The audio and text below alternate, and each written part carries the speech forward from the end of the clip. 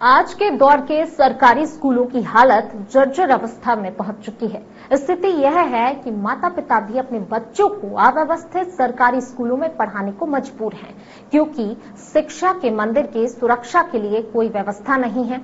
School भवन काफ़ी पुराने हो चुके हैं।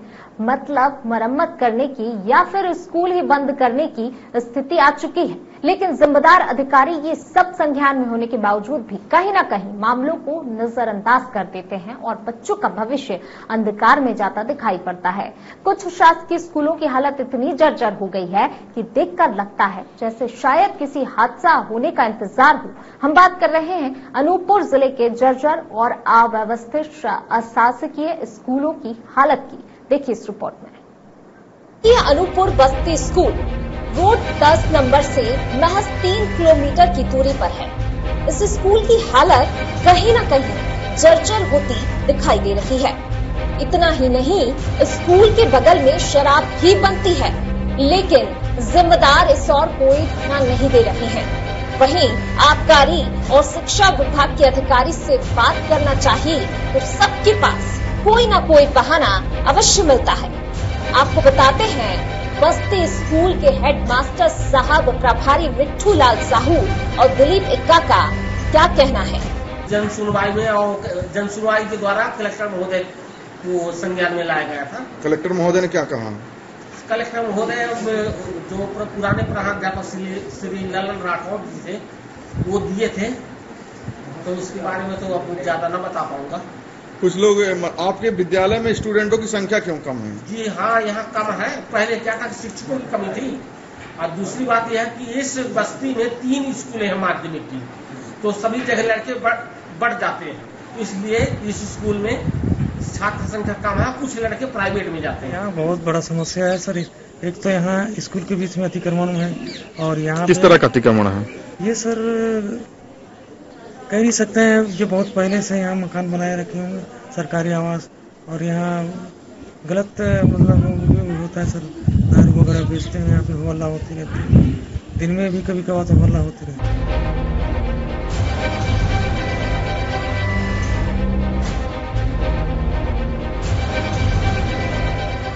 अब आपको रूबरू करवाते हैं जैथरी विकास खंड के खमाहरिया पंचायत के स्कूल पकान टोला से। दरअसल, यहाँ चारों तरफ़ खाई है। रास्ते पर गड्ढे हैं। स्कूल में अतिथि शिक्षक पढ़ाने की जगह हमेशा छुट्टी पर रहते हैं। वहीं, जब छात्रों से कुछ सामान्य ज्ञान से जुड़े सवाल पूछे गए तो कोई भी ठीक से उत्तर नहीं दे पाया। इससे साफ़ तौर पर अनुमान लगाया जा सकता है कि छात्रों का भविष्य कैसा हो सकता है। जरा आप भी देखिए। कलेक्टर को उन्हें पता है? नहीं पता है? अच्छा। पाँच का पहाड़ा पता है? पाँच का पहाड़ा? बताओ। ना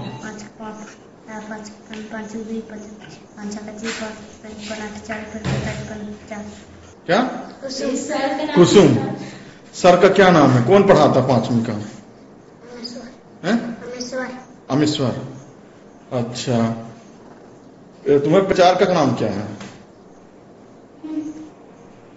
अच्छा इस गाँव के सरपंच का नाम बता बताओ वहीं अतिथि शिक्षक कुसुम से शिक्षकों के नियमित आने का सवाल किया गया तो उनका कहना है कि शिक्षक नियमित आते हैं जबकि हकीकत यह है कि यहाँ शिक्षक ज़्यादातर अवकाश पर रहते हैं। सर एप्लीकेशन लगा है पंचायत में। पंचायत वाले ध्यान नहीं दे रहे पंचायत वाले ध्यान नहीं दे रहे अभी पर बोले हैं कोई आए तो सारी चीज़ें मेरे नाम आने से पहले तो आप अतिथि शिक्षक हो कि? अतिथि शिक्षक हो। अतिथि शिक्षक हो। अच्छा। कौन मैडम है अभी यहाँ? छुट्टी में जो है? वो सब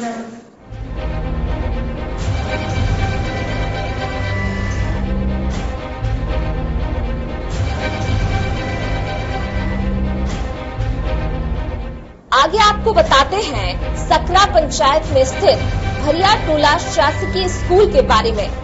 इस स्कूल के पीछे तालाब है। रास्तों के बीच पानी भरा रहता है। स्कूल के आसपास बाउंड्री वॉल भी नहीं है। वहीं जब अनूपपुर डीपीसी सर्व शिक्षा अभियान के अधिकारी हेमंत खैरवाल से बात की गई तो वह भी गोल मोल जवाब देते नज़र आए।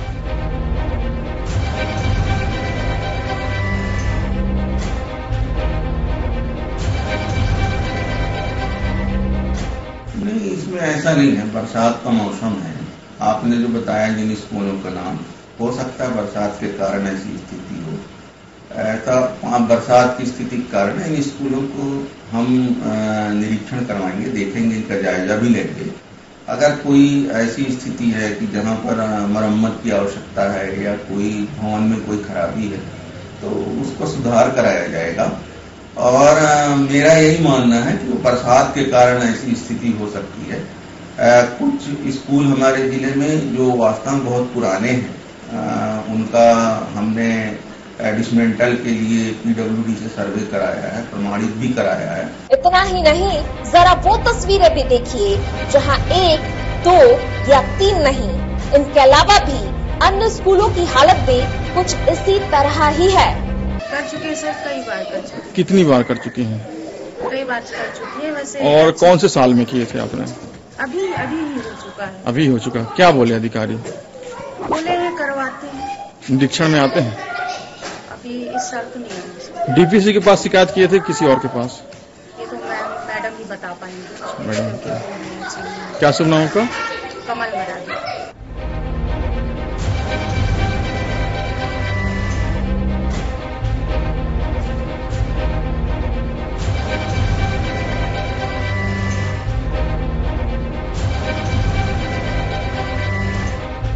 अनूपपुर से संवाददाता ओमकार सिंह की रिपोर्ट।